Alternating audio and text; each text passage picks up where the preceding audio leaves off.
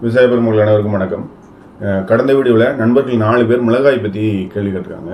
அதில் நண்பர் திரு பாண்டியன் அவர்கள் வந்து மிளகாய் தளவெடுத்து பூக்கள் அதிகமாக பூப்பதற்கு என்ன உரம் போட வேண்டும்? எவ்வாறு அதை வந்து செய்யலாம்? அப்படின்னு மாதிரி கேட்டிருக்காங்க. என்னென்ன மருந்துகள் தெளிக்கணும் அப்படின்னு மாதிரி கேட்டிருக்காங்க. அப்புறம் வந்து நண்பர் திரு கோவிந்தராஜ் அவர்கள் வந்து மிளகாய்க்கு எந்த மாதிரியான உரங்கள் மற்றும் மருந்துகள் வந்து கொடுக்கலாம்? அப்படின்னு மாதிரி கேட்டிருக்காங்க. அதே மாதிரி அடுத்ததாக வந்து நண்பர் திரு வினோத்குமார் அவர்கள் வந்து என்ன கேட்டிருக்காங்கன்னா மிளகாயில் வந்து வைரஸ் இருக்கு அதை வந்து கட்டுப்படுத்துறதுக்கு என்ன செய்யலாம் அப்படிங்கிற மாதிரி கேட்டிருக்காங்க. அது மாதிரி நண்பர் திரு பி வி சதீஷ் அவர்கள் வந்து மிளகாய் வளர்ச்சி இல்லாமல் குட்டையாக இருக்கு குச்சி குச்சியாக நிற்கிது அதுக்கு வந்து என்ன பண்ணலாம் அப்படின்னு மாதிரி கேட்டிருக்காங்க.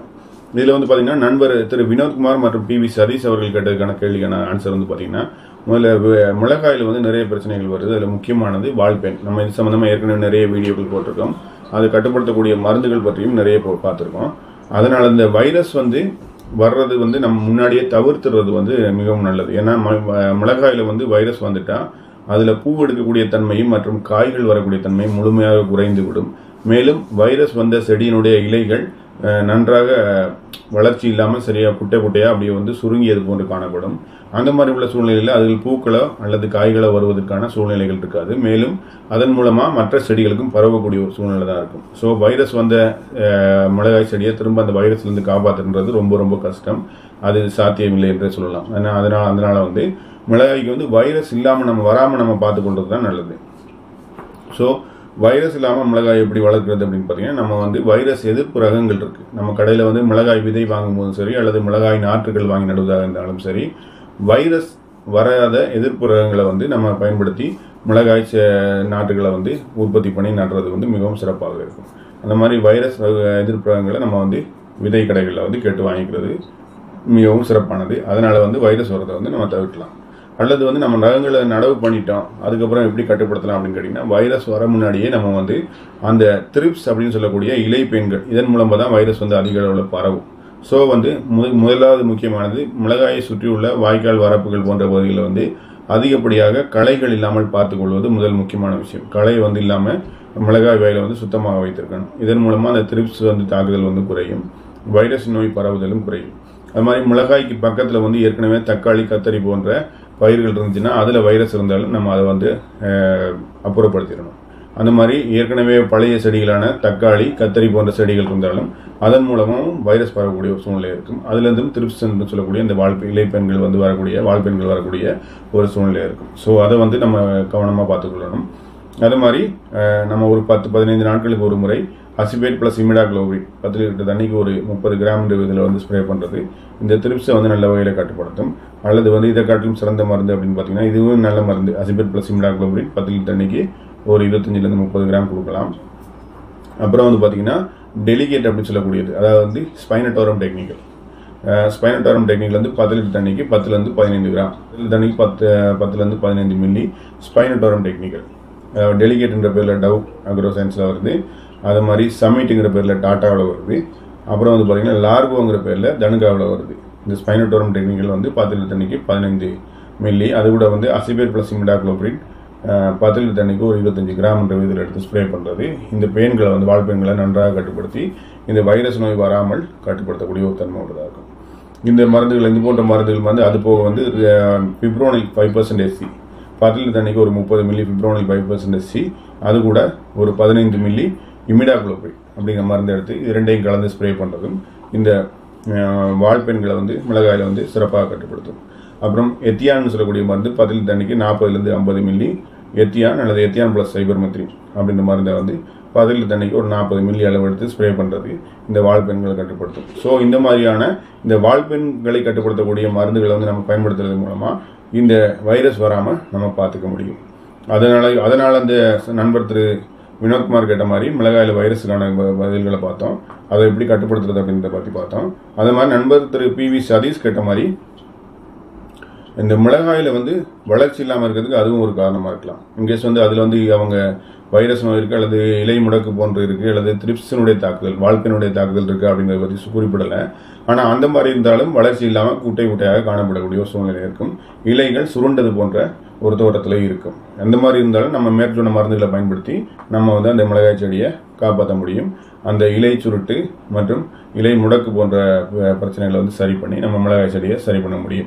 அதுக்கப்புறம் இதில் வந்து நம்ம ரெக்கவர் ஆனதுக்கு அப்புறம் அந்த நோய் அந்த பு- பேன் வந்து அந்த இலைப்பெண்கள் மற்றும் வால்பெண்களை வந்து மிளகாயில் கட்டுப்படுத்தினதுக்கு அப்புறம் அதனுடைய வளர்ச்சியை வந்து எப்படி கொண்டு வரது? அதில் வந்து அதிக தளவெடுத்து அல்லது அதிக துளிர்கள் வந்து அதிக பூக்கள் வைத்து காய்கள் வரக்கூடிய ஒரு சூழ்நிலையை வந்து நம்ம எப்படி உருவாக்குறது அப்படின்றது பார்க்கலாம்.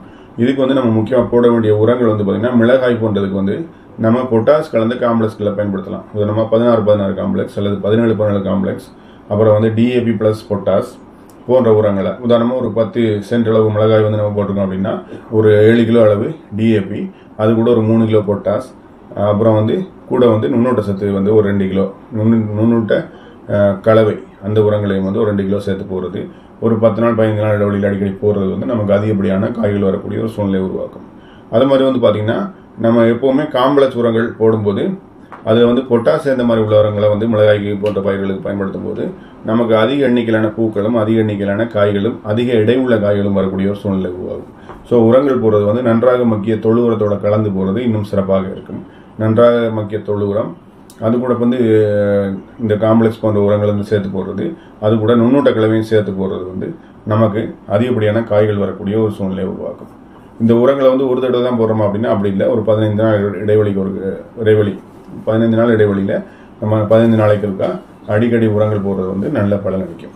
உங்களுக்கு வந்து அதிகப்படியான காய்கள் வரக்கூடிய ஒரு சூழ்நிலை உருவாக்கும். அது மாதிரி மிளகாயில் வந்து அதிக பூக்கள் எடுத்து அதிக காய் பிடிப்பு வர்றதுக்கான டானிக்கள் வந்து நிறைய இருக்குது இதை வந்து நம்ம கண்டிப்பாக கொடுக்கணும். அதில் வந்து முதலாவது இருக்கக்கூடிய வந்து மைக்ரோநியூட்ரியன் மிக்சர்னு சொல்லக்கூடிய நுண்ணுண்ட கலவை ஸ்ப்ரே டைப்பில் வரக்கூடியது. பத்து லிட்டர் தண்ணிக்கு ஒரு ஐம்பது கிராம் அப்படின்ற விதத்தில் எடுத்து ஸ்ப்ரே பண்ணலாம். இதையுமே வந்து உங்களுக்கு அதிகப்படியான ஒரு காய்கள் பூக்கள் வரக்கூடிய ஒரு சூழ்நிலையை உருவாக்கும். மைக்ரோநியூட்ரியன் மிக்சர் அதாவது கீலேட்டட் ஃபார்மில் உள்ள நுண்ணூட்ட சத்து கலவை வந்து பத்து லிட்டர் தண்ணிக்கு ஒரு ஐம்பது கிராம் அப்படிங்கிற விதத்தில் எடுத்து நீங்கள் ஒரு பத்து நாள் இடைவெளியில் இரண்டு அல்லது மூன்று முறை கொடுக்கும்போது உங்களுக்கு தொடர்ச்சியாக அதிகப்படியான காய்கள் வரும். அது மாதிரி நம்ம ஏற்கனவே உரம் வந்து வேர் வழியாக உரம் கொடுக்கறதுனால அது கூட இந்த நுண்ணூட்ட வந்து நம்ம ஸ்ப்ரே பண்ணும்போது உங்களுக்கு அதிகப்படியான காய்கள் பிடிக்கக்கூடிய பூக்கள் வரக்கூடிய புதிய துளிர்கள் வரக்கூடிய ஒரு சூழ்நிலை உருவாகும் அது மாதிரி வேறு என்னென்ன டானிக்கள் கொடுக்கலாம் அதிக காய்கள் வர்றதுக்கு அப்படின்னு பார்த்தீங்கன்னா ஆர்த்தோசிலிசிக் ஆசிட் அப்படின்னு சொல்லக்கூடிய ஆசிட். இது வந்து ஒரு வளர்ச்சி ஊக்கி பத்து லிட்டர் தண்ணிக்கு ஒரு ஐம்பது மில்லி ஆர்த்தோசிலிசிக் ஆசிட். இதை வந்து கொடுக்குறதும் உங்களுக்கு அதிக பூ அதிக பூக்களும் மற்றும் அதிக காய்களும் வரக்கூடிய ஒரு சூழ்நிலை உருவாக்கும். அப்புறம் வந்து பார்த்தீங்கன்னா ஹோமோபிராசினோலைடு அப்படின்னு சொல்லக்கூடிய டெக்னிக்கல் இந்த ஹோமோபிராசினோலைடு அப்படின்றது வந்து இதுவுமே வந்து அதிக பூக்கள் எடுக்க வச்சு அதிக காய் வரக்கூடிய ஒரு சூழ்நிலை உருவாக்கும். பத்து லிட்டர் தண்ணிக்கு பத்து மில்லி ஹோமோபிராசினோலைடு அப்படின்னு சொல்லக்கூடிய அந்த மருந்து. அப்புறம் வந்து இது இது இல்லாமல் ட்ரை காண்டினால் அப்படின்னு சொல்லக்கூடிய டெக்னிக் ட்ரை காண்டினால் வந்து பார்த்தீங்கன்னா பதில் தண்ணிக்கு ஒரு ஐம்பது மில்லி எடுத்து ஸ்ப்ரே பண்ணுறது அதிகப்படியான பூக்கள் மற்றும் காய்கள் வரக்கூடிய ஒரு சூழ்நிலையை உருவாகும் அது மாதிரி சீப் அண்ட் பெஸ்ட் அப்படின்னு பார்த்தீங்கன்னா humic acid humic acid potassium humate அப்படின்னு சொல்லக்கூடிய பொருளை தயாரிக்கக்கூடிய ஹியூமிக் ஆசிட் இது வந்து பத்து தண்ணிக்கு ஒரு ஐம்பது மில்லி அப்படிங்கிற இதில் எடுத்து ஸ்ப்ரே பண்ணுறது உங்களுக்கு அதிகப்படியான துளிர்கள் வந்து அதிகப்படியான காய்கள் பூக்கள் வரக்கூடிய சூழ்நிலையை உருவாக்கும். அப்படி வரக்கூடிய பூக்கள் வந்து உதிராமல் அது காயாக மாறி நமக்கு அதிகப்படியான மகசூலும் அதிக எடையுள்ள காய்களும் வரக்கூடிய ஒரு சூழ்நிலை உருவாக்கும் ஹியூமிக் ஆசிட் பத்து லிட்டர் தண்ணிக்கு ஒரு ஐம்பது மில்லின்ற விதத்தில் எடுத்து அடிக்கிறது. அப்புறம் வந்து பார்த்திங்கன்னா மீன் அமிலம். மீன் அமிலம் வந்து நம்ம வீட்டிலேயே தயார் பண்ணதாக இருந்தாலும் சரி அல்லது நம்ம தயார் பண்ணுறவங்கள்ட்ட வாங்கி ஸ்ப்ரே பண்ணதா இருந்தாலும் பத்து லிட்டர் தண்ணிக்கு ஒரு ஐம்பதுலேருந்து நூறு மில்லி அளவு வரைக்கும் நம்ம வந்து மீன் அமிலத்தை ஸ்ப்ரே பண்ணுறதும் உங்களுக்கு அதிகப்படியான பூக்கள் மற்றும் காய்கள் வரக்கூடிய ஒரு சூழ்நிலையை உருவாக்கும். இது போக வந்து நம்ம உர வகைகளில் பார்த்தீங்கன்னா ஆல் நைன்டீன் அப்படின்னு சொல்லக்கூடிய பத்தொம்போது பத்தொம்போது பத்தொம்போது அதாவது நீர் க நீரில் கரையக்கூடிய உரம். இது வந்து போலியா டைப்பில் வரக்கூடியது இருக்குது அதாவது போலியா ஸ்ப்ரேயாக கொடுக்கக்கூடியது. ஆல் நைன்டீன் அப்படின்னு சொல்லக்கூடியது. பத்து லிட்டர் தண்ணிக்கு ஒரு ஐம்பது கிராம் என்ற விதத்தில் எடுத்து இதையும் ஸ்ப்ரே ஸ்ப்ரே பண்ணலாம்.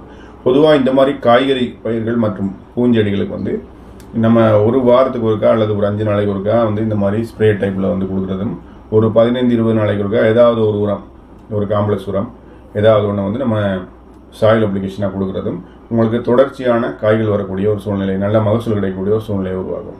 ஸோ ஒரு வாரத்துக்கு ஒருக்கா நம்ம ஏதாவது ஒரு விலை குறைவான தெளிப்பான உரங்கள் அதாவது விலை குறைவான டானிக்குகளே நிறைய இருக்குது அது தெளிக்கக்கூடிய டைப்பில் உள்ள போலியர் அப்ளிகேஷனாக கொடுக்கக்கூடிய உரங்கள் நிறைய இருக்குது உதாரணம் ஏற்கனவே சொன்ன மாதிரி ஹியூமிக் ஆசிட் கொடுக்கலாம் ஃபல்விக் ஆசிட் கொடுக்கலாம் அமினோ ஆசிட் கொடுக்கலாம் மீனமிலம் கொடுக்கலாம் ஆர்த்தோசிலிசிக் ஆசிட் கொடுக்கலாம் அப்புறம் வந்து பார்த்தீங்கன்னா ஹோமோபிராசினோட இடந்த டெக்னிக்கல் கொடுக்கலாம்.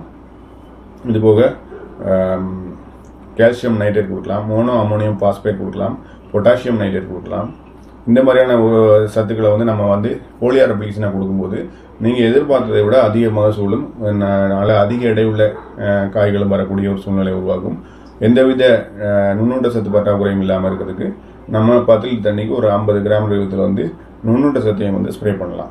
இந்த மாதிரி கொடுக்கும்போது நண்பர்கள் கேட்ட மாதிரி அதிக தளவெடுத்து அதாவது அதிக துளிர் வந்து அதிக பூக்கள் எடுத்து அதிக காய்கள் வரக்கூடிய ஒரு சூழ்நிலை உருவாகும்.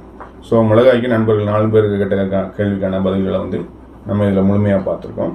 மேலும் உங்களுக்கு விவசாயம் சார்ந்த அல்லது இந்த வீடியோவில் விடுபட்ட மிளகாய் சார்ந்த வேறு ஏதேனும் பிரச்சனைகள் இருந்தாலும் நீங்கள் கமெண்ட் செக்ஷனில் பதிவு செய்யுங்க.